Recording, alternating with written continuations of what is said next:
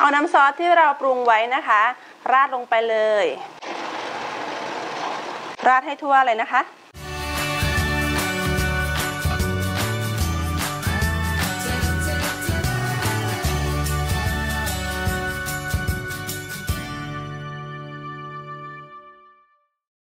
ทำอาหารง่ายๆ กับครัวพิพิไลค่ะ เห็นใส่ชุดแดงแบบนี้นะคะ คงนึกออกแล้วว่าเป็นวันตรุษจีนนั่นเอง ตรุษจีนทั้งทีนะคะ ครัวพิพิไลก็มีเมนูมงคลมาฝากค่ะทำกินในครอบครัวค่ะ จะได้เป็นสิริมงคลกับชีวิต แล้วก็ครอบครัวของเราด้วยค่ะ ถามว่าเป็นคนจีนหรือเปล่าใส่ชุดแดงแบบนี้จริง ๆ แล้ว บอกเลยว่าไม่ใช่คนจีนนะคะ เป็นคนอีสาน แต่ว่าสวมรอยเป็นคนจีน เหมือนไหมวันตรุษจีนแบบนี้เดี๋ยวเรามาหาอะไรทำอร่อยๆกันดีกว่าค่ะ จะได้เข้ากับเทศกาลตรุษจีนด้วย นี่เลยค่ะเราได้ของขวัญมาใหม่นะคะ ของขวัญจาก Seagull เป็นซึ้งนี่เอง ซึ้งเลยน้ำตาจะไหล นี่เดี๋ยวเรามาแกะดูด้านในกันค่ะแทนแทนแทนนี่เลยค่ะ ประกอบก่อนค่ะข้างในก็จะมีโบรชัวร์แถมมาด้วยค่ะ เนื่องในวันเทศกาลตรุษจีนค่ะ ก็จะมีเมนูแนะนำต่างๆนะคะ ทั้งหมด 8 เมนูด้วยกันค่ะ เป็น 8 เมนูมงคลค่ะ นี่เลยอย่างซึ่งใบนี้นะคะก็จะเหมาะกับเมนู ปลานึ่งสมปรารถนา หรือว่าปลาทับทิมนึ่งขิงค่ะเนี่ยค่ะก็จะมีแนะนำมานี่ เดี๋ยวเราจะทำปลานึ่งสมปรารถนานะคะ หรือว่าปลาทับทิมนึ่งขิง แต่จะดัดแปลงสูตรนิดหน่อยตามความชอบส่วนตัวเลย ใครชอบแบบไหนก็ลองดัดแปลงกันได้ เดี๋ยวเราไปทำกันเลยค่ะ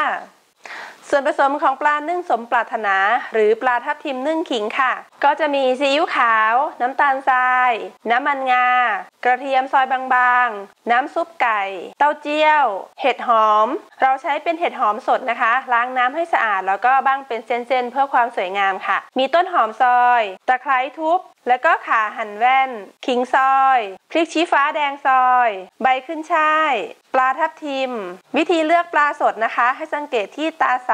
เหงือกแดง เนื้อปลาแน่นค่ะ เวลากดลงไปเนี่ยไม่ยุบตัวง่าย ๆ จากนั้นก็ทำความสะอาดแล้วก็บ้างเป็นเส้นๆค่ะ เวลาที่ปรุงรสหรือว่าใส่น้ำซอสเนี่ยจะทำให้รสชาติเข้าเนื้อได้ง่ายขึ้นค่ะ มาดูส่วนของน้ำจิ้มกันบ้างค่ะ เราใช้เป็นน้ำจิ้มซีฟู้ดก็จะมีน้ำตาลทราย มะนาวสด พริกขี้หนูสวน กระเทียม น้ำปลา ส่วนผสมมีแค่นี้ เดี๋ยวเราไปทำกันเลยค่ะ เดี๋ยวเราจะมาเตรียมนึ่งปลาทับทิมกันค่ะ เราจะลองจานด้วยขิงซอยค่ะ ตามด้วยใบขึ้นช่ายค่ะ ต้นหอมค่ะ แล้วก็เอาปลาค่ะ วางไว้บนจานเลย แบบนี้ ราดด้วยน้ำซุปนะคะ เป็นน้ำซุปไก่ น้ำซุปไก่ก็ใช้ซุปก้อนก็ได้ค่ะ ละลายกับน้ำร้อนนะคะ ก็ใช้ได้เหมือนกันค่ะ ราดลงไปให้ทั่วๆค่ะเวลาที่นึ่งเนี่ยปลาจะได้ไม่แห้งนะคะ จากนั้นก็จะวางเห็ดหอมนะคะ เรียงๆให้ทั่วเลยค่ะ เดี๋ยวเราไปนึ่งกันเลยค่ะ ต่อมาค่ะ ต้มน้ำให้เดือดเลย เราจะใส่ตะไคร้ทุบแล้วก็ข่าซอยลงไปค่ะ เวลาที่นึ่งปลาก็จะได้มีกลิ่นหอมของเครื่องสมุนไพรด้วยนะคะ แล้วก็ต้มน้ำให้เดือดเลยค่ะ ต้มน้ำให้เดือดแบบนี้เลยค่ะ ให้หอมกลิ่นสมุนไพรแบบนี้ แล้วก็เอาปลาลงไปนึ่งเลย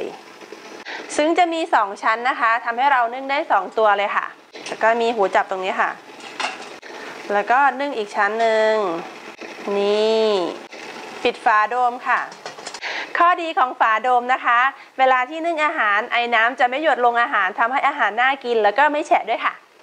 ระหว่างที่นึ่งนะคะ เราก็จะมาเตรียมน้ำราดกันค่ะ เตรียมชามผสม ใส่น้ำตาลทรายลงไปค่ะซีอิ๊วขาว น้ำมันงา คนพอน้ำตาลละลายค่ะ แล้วก็ใส่เต้าเจี้ยวลงไปค่ะ วันนี้เราใช้เป็นเต้าเจี้ยวเม็ดนะคะ รสชาติมันจะไม่เค็มเหมือนเต้าเจี้ยวบดค่ะ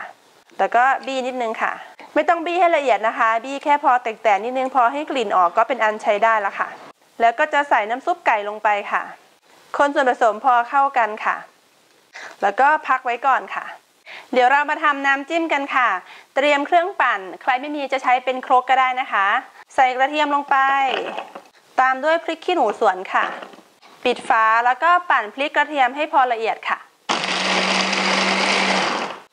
ประมาณนี้ค่ะ ใส่น้ำตาลทราย ความหวานก็ปรับได้ตามชอบนะคะ ใครชอบเปรี้ยวชอบหวานก็แล้วแต่เลย ตามด้วยน้ำปลาค่ะ